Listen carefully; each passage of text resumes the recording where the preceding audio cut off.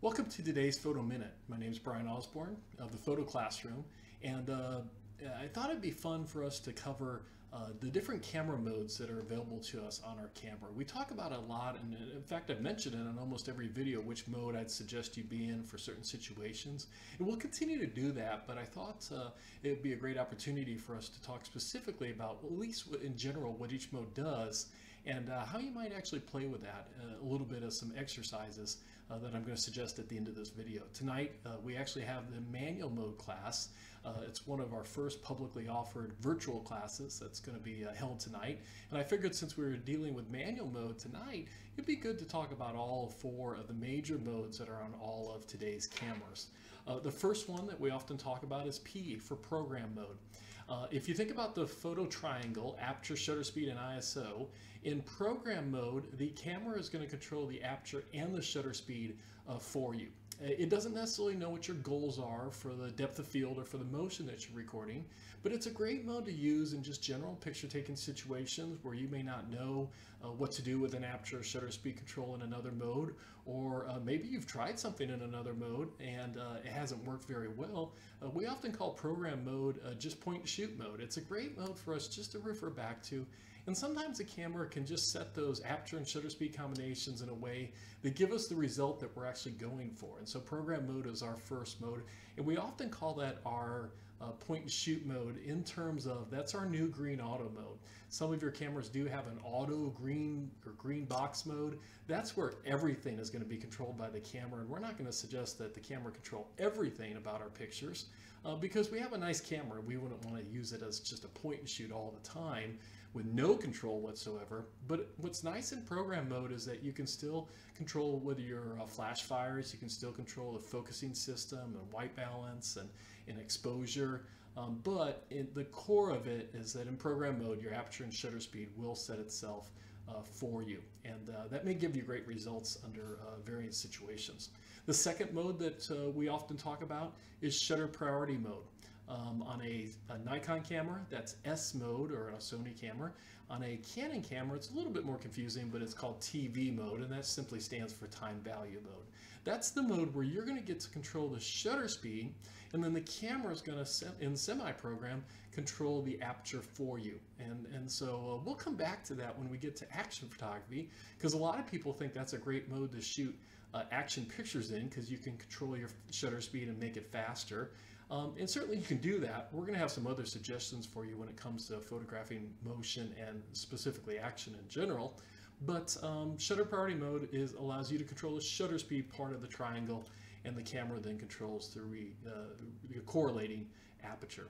The third mode, and it's by far our favorite, you may have already picked up on that in some of our videos, is aperture priority mode, A mode or AV mode on a Canon. And in aperture priority mode, you get to control the aperture uh, you say, well, why is it your favorite? Because in many ways, I think the coolest thing about photography is being able to control your depth of field. It's just so core to the types of pictures that we might want to create in different situations. And so um, why not be in the mode that uh, camera takes care of the shutter speed for you, but you and I get to take care of the aperture. And the aperture is so often something that we might want to um, have uh, the ultimate control over.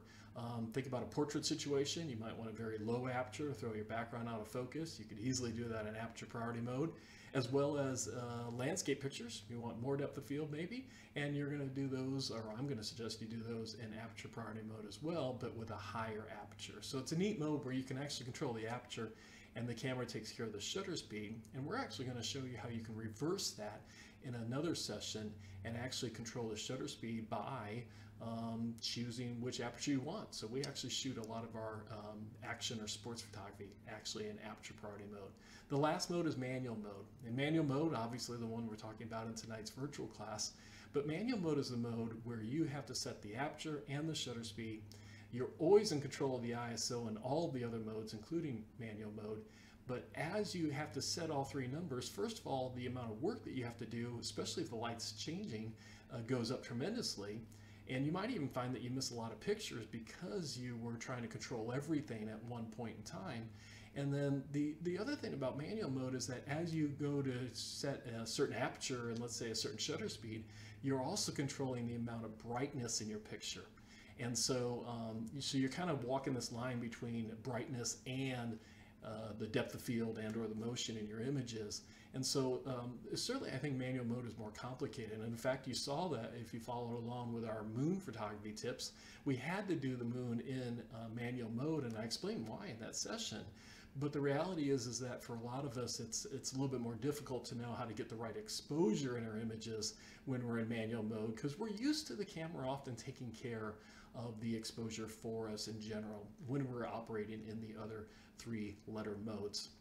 Um, I wanted to at least give us an exercise that, uh, regardless of whether this is brand new information to you or um, you're very, very familiar with what I'm describing in terms of the four modes on our cameras, uh, just two different exercises you might do just to kind of play around and maybe up your comfort level with the modes that are available to us on our cameras. The first one is to choose uh, aperture priority mode and maybe even um, shutter priority mode.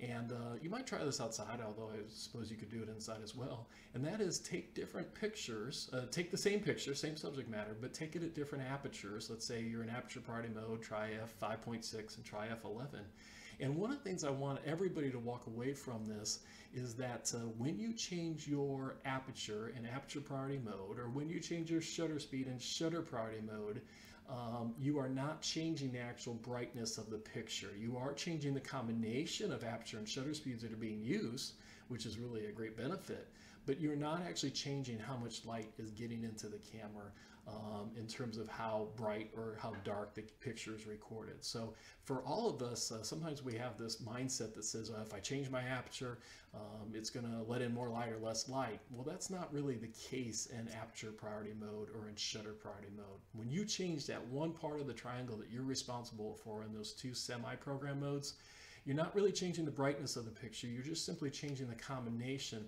of apertures and shutter speeds that you want to use together. So it'd be a great activity just to try different apertures in aperture priority mode, different shutter speeds in shutter priority mode, and see if uh, you get those results where the brightness of the pictures is relatively the same.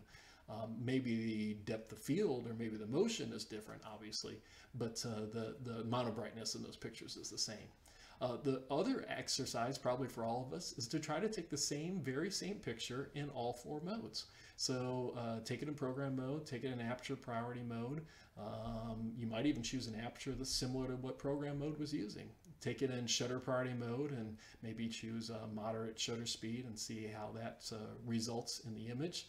And then finally, uh, take it in manual mode. And whether you're going to try to find the right aperture and shutter speed uh, yourself in manual mode uh, and ISO combination, or whether you're going to uh, maybe even just take your numbers from program mode and then dial those three numbers in, the aperture, shutter speed, and ISO in manual mode.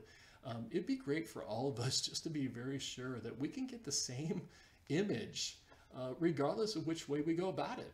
Um, some people choose to do it in manual mode, and sometimes we have to do it in manual mode but it can be pretty complicated to get the same result that we might have been able to get in P mode, program mode. And we could have let the camera do everything for us, or maybe aperture priority mode and we chose our aperture, but we, the, the, we got the same resulting picture.